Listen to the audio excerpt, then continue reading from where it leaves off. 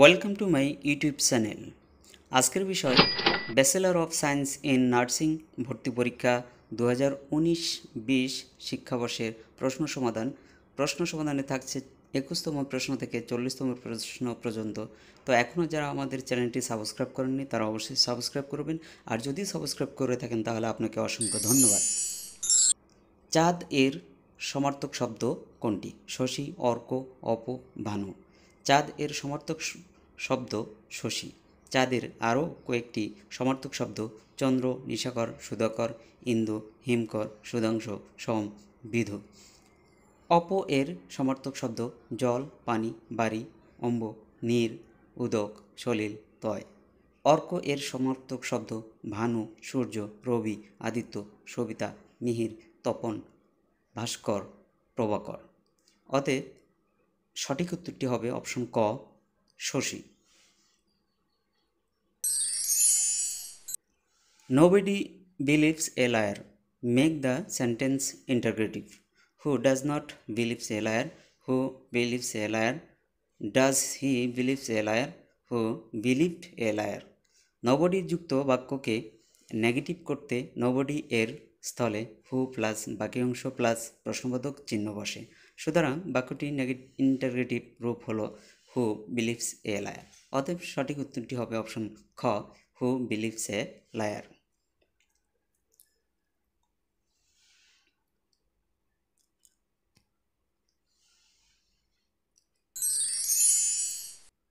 he has been ill dash Friday last fill in the gap with an if appropriate preposition for with since to. নির্দিষ্ট সময়ের পূর্বে change ব্যবহৃত হয় change যোগে বাক্যটির অর্থ গত শুক্রবার থেকে সে অসুস্থ অতএব সঠিক উত্তরটি হবে অপশন গ, since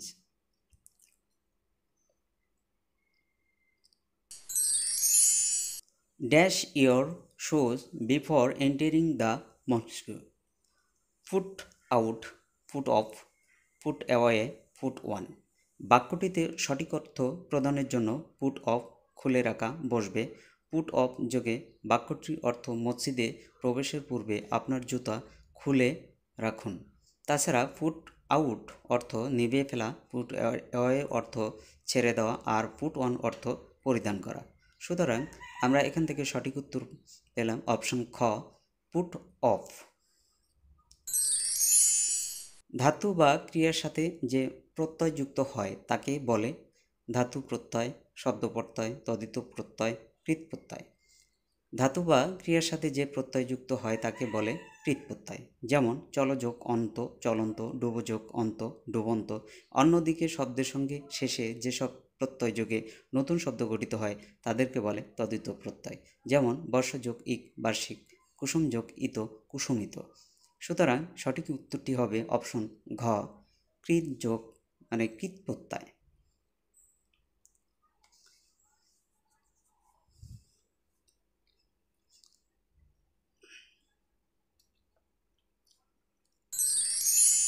দু সালের ক্রিকেট বিশ্বকাপে বাংলাদেশে দলের অধিনায়ক ছিলেন মাশাবি বিন মর্তজা, তামিম ইকবাল, সাকিব আল হাসান, মুশফিকুর রহমান।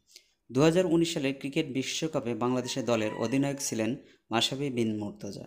উনিশশো নিরানব্বই সালে সপ্তম বিশ্বকাপ ক্রিকেটে বাংলাদেশে প্রথম অংশগ্রহণ করে। দু হাজার উনিশ সালের সঠিক উত্তর হবে অপশন ক মাশাবি বিন মুর্তজা। সবচেয়ে বেশি বৈদেশিক মুদ্রা অর্জনকারী খাত কোনটি? চামড়া শিল্প, পোশাক শিল্প, মৎস্য সম্পদ, প্রাকৃতিক গ্যাস। বাংলাদেশে তৈরি পোশাক শিল্পের যাত্রা শুরু হয় ষাটের দশকে।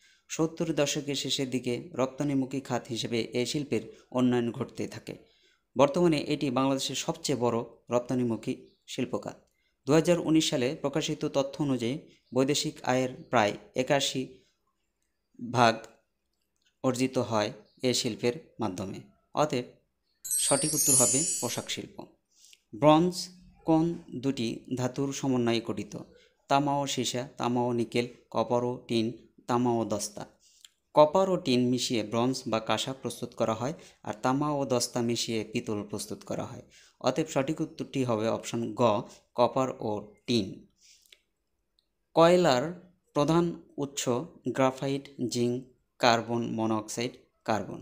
কয়লার প্রধান উপাদান কার্বন। কার্বন একটি বহুরূপী মৌল। কার্বনের দুটি রূপভেদ হলো হিরক এবং গ্রাফাইট। অতএব সঠিক উত্তরটি হবে অপশন ঘ কার্বন।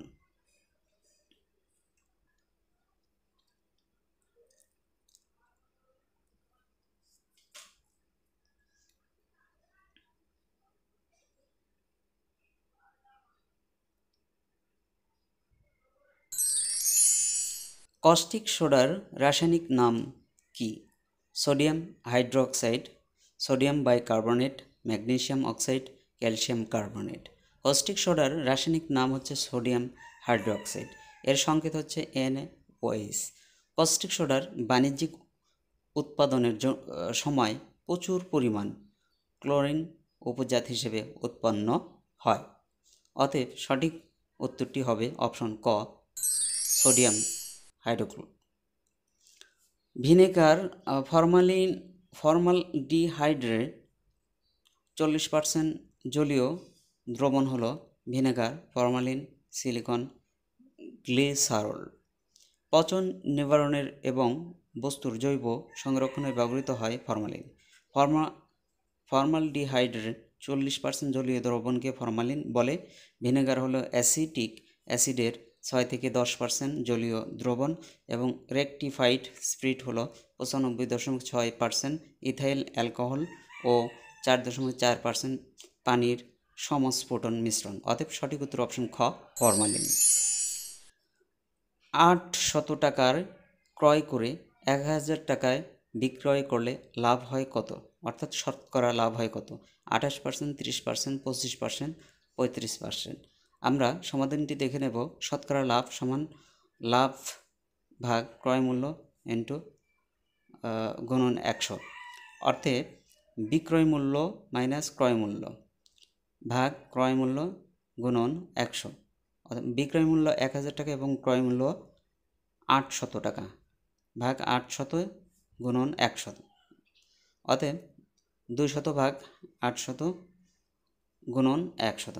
অতএব আমরা সঠিক উত্তর পেয়ে গেলাম পঁচিশ পার্সেন্ট। অতএব সঠিক উত্তরটি হলো অপশন গ, পঁচিশ পার্সেন্ট।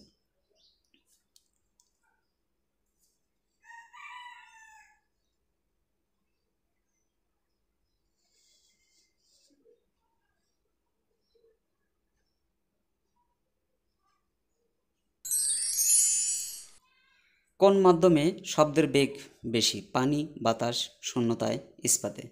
বিভিন্ন মাধ্যমে শব্দের গতিবেগ ক্রম কঠিন, তরল, বায়বীয়।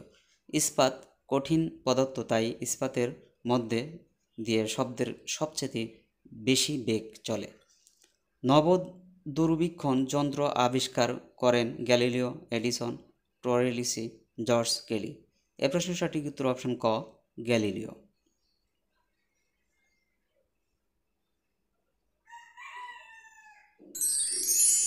জজ সাহেব কোন সমাস, দ্বন্দ্ব, কর্মধারায় তৎপুরুষ বহুব্রী যেখানে বিশেষণ এবং বিশেষণ ভাবাপন্ন পদের সাথে বিশেষ বা বিশেষ্য ভাবাপন্ন পদের সমাস হয় এবং পরপদের অর্থই প্রধানরূপে প্রতীয়মান হয় তাকে কর্মধারায় সমাস বলে।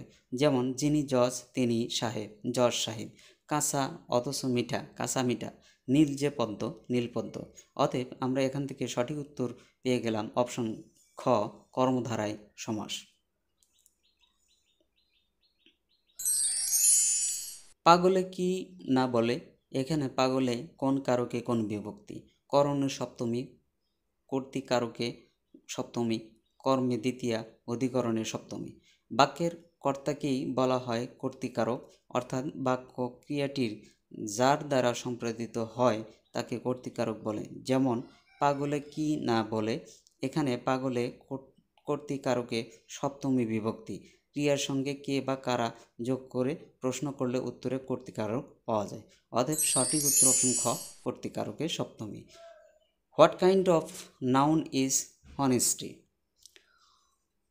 Proper, common, abstract, material. যে সকল নাউন দ্বারা দোষ গুণ অবস্থা ও কাজের নাম বোঝায়, তাদেরকে অ্যাবস্ট্রাক্ট নাউন বলে। নাউনটি সাধারণত C E T H T Y N E double S ইত্যাদি যোগে শেষ হয় সুতরাং অনেস্টি হলো abstract noun. Choose the synonym of the word beautiful, ugly, interesting, dull, pretty. Beautiful সুন্দর এর অর্থ অর্থবোধক শব্দ হলো প্রিটি সুশ্রী বা সুদৃশ্য অন্যদিকে আগলি অর্থ কুচ্ছিত ইন্টারেস্টিং অর্থ মজাদার আর ডুল অর্থ নিরস। অতএব সঠিক উত্তরটি হবে অপশন ঘ প্রিটি অক্সিজেন সমৃদ্ধ রক্ত পরিবহন করে ধমনী, শিরা, হৃদযন্ত্র, বৃক্ষ। যেসব রক্ত বাহিকার মাধ্যমে সাধারণত অক্সিজেন সমৃদ্ধ রক্ত হৃৎপিণ্ড থেকে সারা দেশে বাহিত হয়, তাকে ধমনী বলে। অপরদিকে পালমোনারি শিরা ছাড়া সকলেই কার্বন ডাই অক্সাইড সমৃদ্ধ রক্ত পরিবহন করে। অতএব সঠিক উত্তরটি হবে অপশন ক, ধমনী। মানুষের কাশিরুকার সংখ্যা তিরিশটি, তেত্রিশটি, ছত্রিশটি, চল্লিশটি। তেত্রিশটি অনিয়ত আকৃতির অস্থিখণ্ড নিয়ে মেরুদণ্ড গঠিত। মেরুদণ্ডের প্রত্যেকটি অস্থিখণ্ডকে কাশিরুকা বলে। পরিণত বয়সে শ্রেণি, দেশীয় কাশিরুকাগুলো একীভূত হয়ে স্যাক্রাম এবং কক্সীয় কাশিরুকাগুলো কক্সিক্স গঠন করে। ফলে পরিণত বয়সে কাশিরুকার সংখ্যা কমে ছাব্বিশটি হয়। অতএব সঠিক উত্তরটি হবে অপশন খ, তেত্রিশটি। ধন্যবাদ সবাইকে। আমাদের ভিডিওটি ভালো লাগলে লাইক, কমেন্ট এবং শেয়ার করবেন। আর যদি আপনি নতুন হয়ে থাকেন আমাদের চ্যানেলে, তাহলে অবশ্যই সাবস্ক্রাইব করবেন এবং পাশে থাকা বেল আইকনটি অন করে দেবেন।